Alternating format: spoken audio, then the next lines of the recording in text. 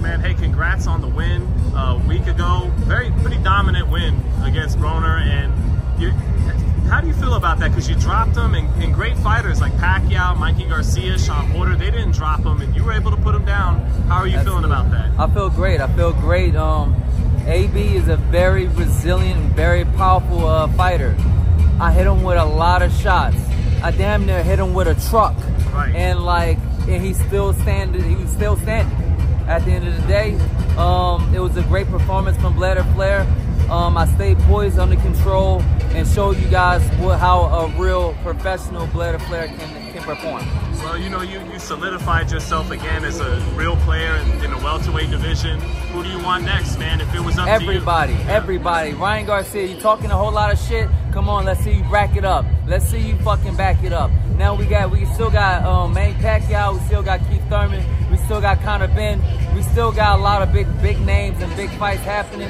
But let's see what happens with this Ryan Garcia. I would love to see that fight happen. Let's make it happen, Golden Boy. Why, uh, yeah, stylistically, how's that play out? Um, basically, he don't actually, he don't actually get up like Adrien Broner, and the fight ends. Basically, exact same fashion. Probably very soon. What did you make of, uh, you know, the, the drama around the Ostarine, uh, surrounding the Haney fight, and what did you make of it, Blair?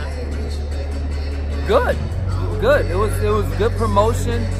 Ryan seems a little off mentally, going through all kinds of things. And um, I used to be always there to pray for him and um, and hope that he would get himself together. But then he started turning on me and saying that he want my career to be ended by Adrien Broner. So let's, uh, okay, well, I'm going after I'm done with him, I'm gonna go for you. You know what I mean? Now you're a fucking, now you're gonna be a, just another victim. And like, like, so let's see what happens. He wants to post this video of, of me of me getting knocked down in sparring. But what happened after that? I got up, I got up incredibly fast and went straight to work on his ass. And, and, and at the end of the day, stopped him. So like, let's see what happens next. We going, we can see what happens in the real fight. Let's make it happen. Do you feel he deserves to keep his victory over Haney? Yeah, yeah. He, he wasn't cheating. He wasn't cheating. He wasn't doing actual steroids or anything like that. So let's, uh, yeah, he, he deserves to win the fight. Uh, yeah, and just just back to. Uh, I don't like the fact that he didn't make weight. Make the fucking weight. And so that wasn't fair. You know, in your win over Broner, um, stamina issues that would plague you in some fights, they didn't show up in this fight. No, why, not why, at all. Why were you able to kind of correct that? I got incredible trainers, incredible strength condition trainers, and I had a great diet.